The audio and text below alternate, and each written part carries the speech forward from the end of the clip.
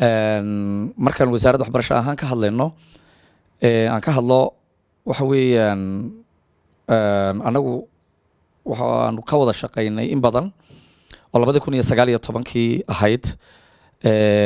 Wasaaradda xidhiirka golayaasha waxaanu ka wada shaqaynay barashada wadaniyadda. Waanu samaynay markaa laba qaybood bay u kala samaysnayd marka.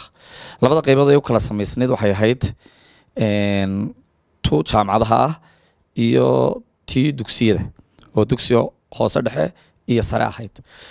Walow aanay hirgelin labadii kun iyo sagaal iyo tobankii ilaa imika dugsiga hoose dhexe oo aanu insha allah ku rajo weynahay inaanu hirgelino dhowaan.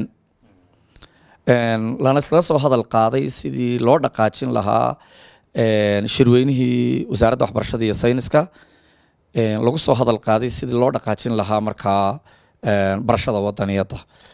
Waayo su'aalaha u badan lena weydiiyaa wasaarad ahaan waxa weeyaan barashada wadaniyadda oo sidai ardaydu ay iskuullada ugu dhigan lahayd.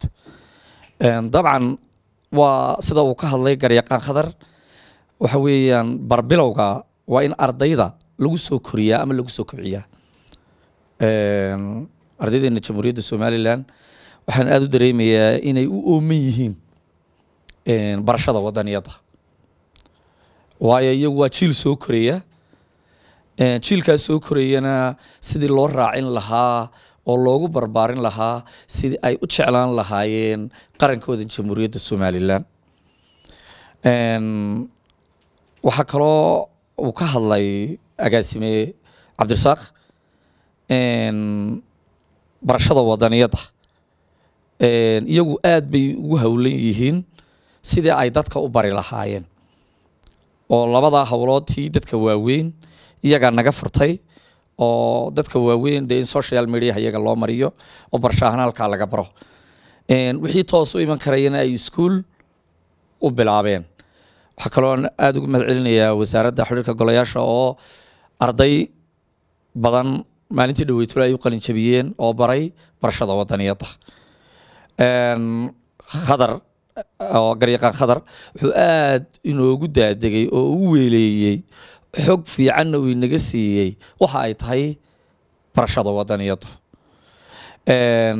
waayo marka aad qurbo aaddo ee aad dal shisheeye aaddo ayaad dareentaa qarannimadu waxa ay tahay.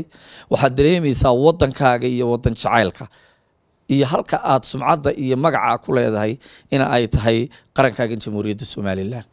Waa marka aad ka baxdo waa yahay su'aashaada kale. Aad iyo aad baad mahadsan tahay ibrahim si kooban waxaan jecelahay inaan ku weydiiyo intaanan u gudbin garyaqaan khadar maxamed axmed.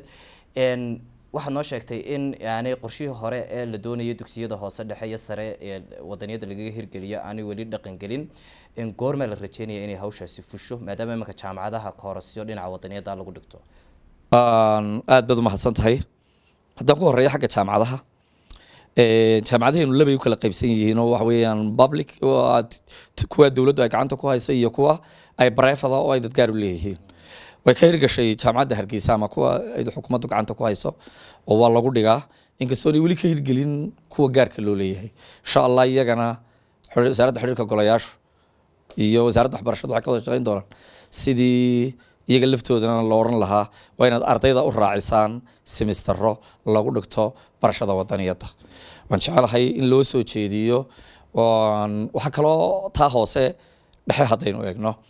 Iyo sare waxaanu rajo ka rajo weynahay sidaan warkayga horena ku sheegay waa laysla soo hadal qaaday shirweynihii wasaaradda waxbarashada iyo sayniska ee ka dhacay hoteelka maasoor in si deg dega loo hirgeliyo oo loo sameeyo sidii loo dhaqaajin lahaa barashada wadaniyadda iyo arrimaha dastuurka